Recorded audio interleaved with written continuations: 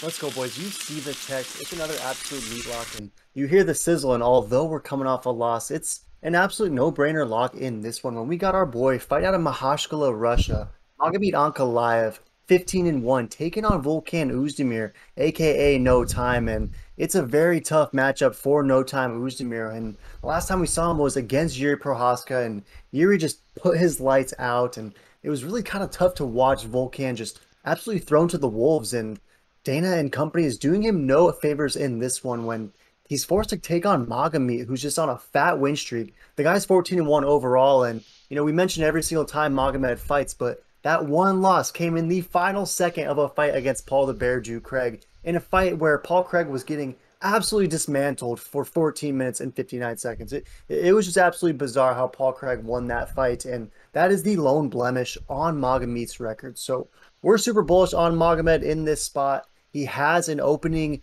uh, UFC pay per view uh, main card position, so they're obviously bullish that he's going to perform in this one as well. So what are your thoughts? Why are you so bullish on Magomed in this one?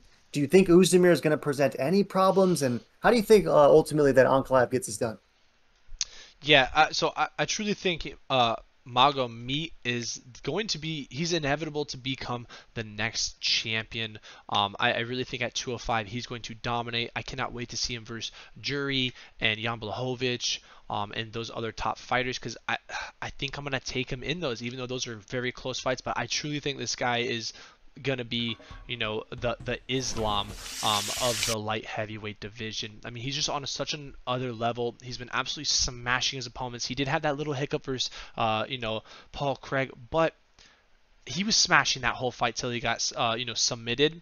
Um, and I think Volkan is going to get finished just like Jiri KO'd him. I think Magomed is going to finish this very quickly. Um, I think uh, Volkan is way too slow. Magomed is way too strong. He's too fast. His fight IQ is out the door for a 205er, to be honest. Um, I get a little Jon Jones vibe on the skill set. Where like I truly think that this guy is going to be that next, um, you know, world champion, uh, goat status person. Um, I mean, that's how I I'm very bullish on him. I think this is an absolute lock, and I don't I think Volkan's kind of on his way out to be honest. Um, he was on a, a little fight win streak, got the two nice wins, one mm-hmm. KO versus uh, Latifi, which was that was nice, and then a split, you know, somewhat won the fight versus Rakic and then got dropped by our boy Jiri. So I don't know. I think he's gonna get dropped real quick again because Magomed is taking heads nowadays.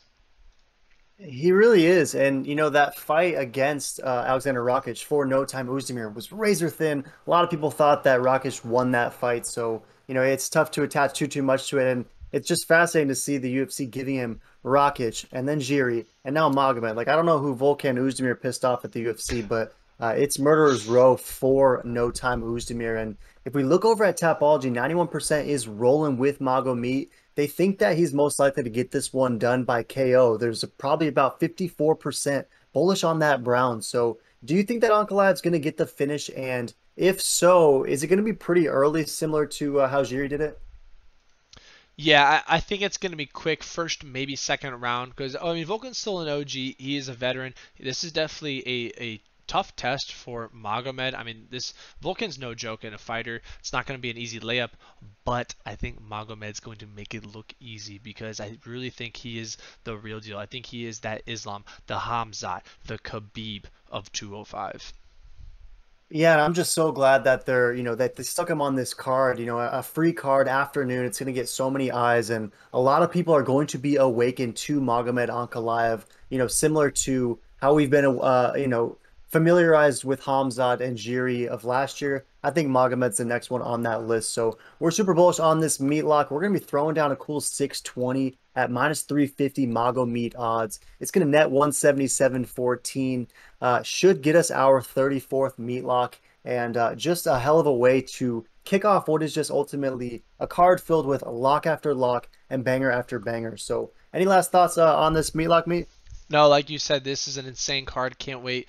Um, yeah, I'm glad you know, we're kicking it off with this one, absolute meat lock. And really, this is just tendies for the boys, but this is one of the most locks with the best mm. odds in our opinion. So that's where we're picking it. But bunch of locks this card. Just the odds aren't as juicy. But nonetheless, we are taking Mago Meat for this meat lock. And uh, take it to the bill and get the grill.